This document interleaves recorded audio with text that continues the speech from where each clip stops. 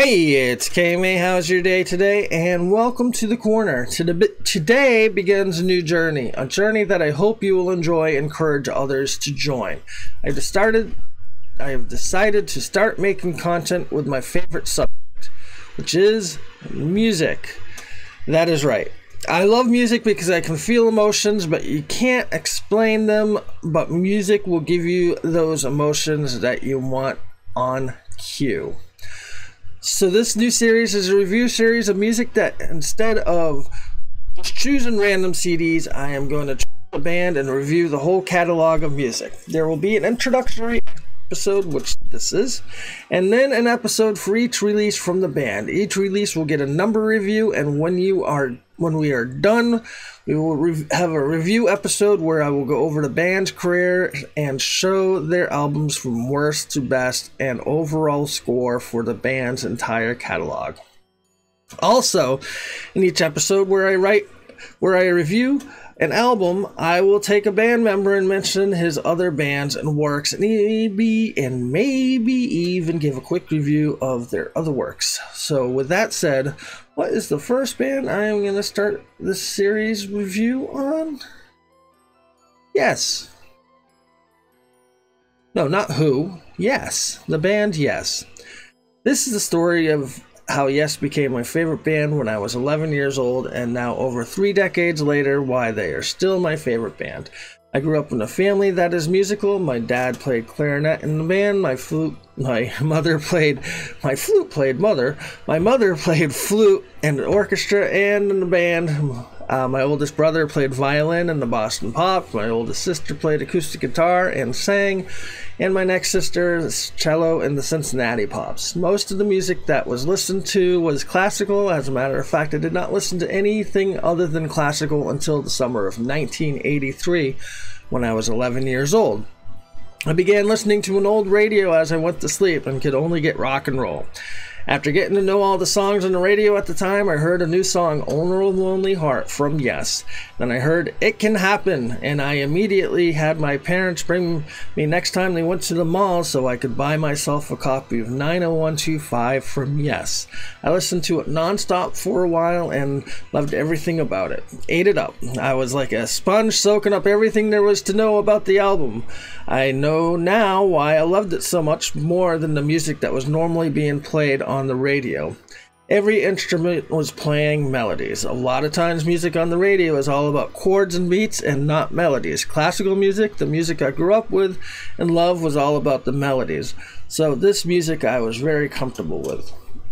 If you listen to Yes music, even if you listen to the drummer, which is supposed to be the beat man, you can hear that he's actually playing melodies instead of beats.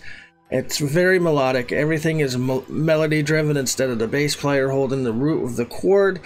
He's doing a melody on the bass that counteracts the melody on the guitar, which counteracts the melody on the keyboards, and so forth and so forth. And it makes this whole melodic mess of love that I tend to like a lot. Instead of the beaty music that everybody likes to listen to with the beat, I like the melodies.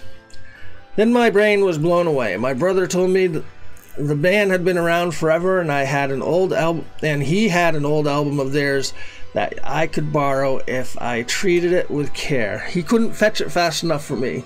He showed me how to record the album tape, but I put it on a single 90 minute tape. The album was called Yessongs. It was a live album from 1972, and no, the sound was horrible on it. The music was unbelievable. The album artwork had me staring at it and losing myself in fantasy worlds created by both the music and the art album. And behind me, uh, you see some of the um, artwork now. That that with the moose and not not this, uh, not, not that, but with the moose and the trees and the other trees, the other moose and the the squigglies because I don't have enough light. Um, it's all from my favorite Yes album, or the one that had gotten me into it. The album started with Firebird Suite from Stravinsky played exclusively through the PA system. The actual song the actual classical piece, and that was instantly recognized by me. Slowly, the band started improvising over the classical song, and then began Siberian Khatru. I had never heard music like this at all. It was the rock and roll meets classical music that I like so much, the perfect match for me. So that is why I'm going to start with my favorite band of Yes. We are going to start from their oldest albums to their newest releases, rating them all and giving the high points away on the albums. This these will be released once a week on YouTube and in blog form on Wednesdays. So that's what I'm doing. I'm going to be reviewing starting with the band Yes, all their music from their oldest album to their newest album. I'm going to exclude live albums and compilations because there's really not much news and material on live albums and compilations but i will give a have a on a band with more music like yes does have i will have an episode where i'll go over all the live albums and compilations and tell you where to start with those if you're interested in getting some music from this band but once a week on Wednesday, you will see this video of me reviewing a Yes album and giving it a number. And at the end of the time, when I'm done with all their albums, we will um, go over the numbers for each album and put the albums in worst to best order. And you can yell at me for disagreeing with my ordering of what I think the um, Yes music should be listened to in.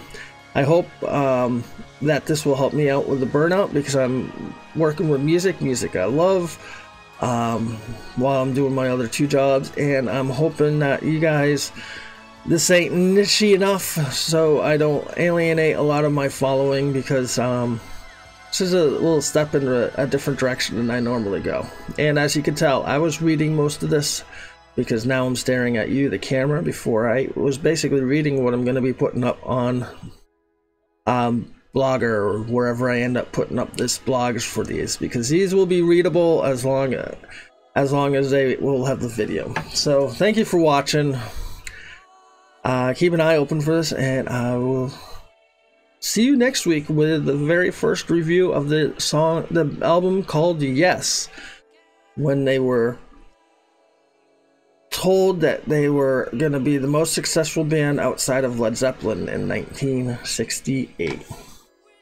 I'll see you next week. Goodbye.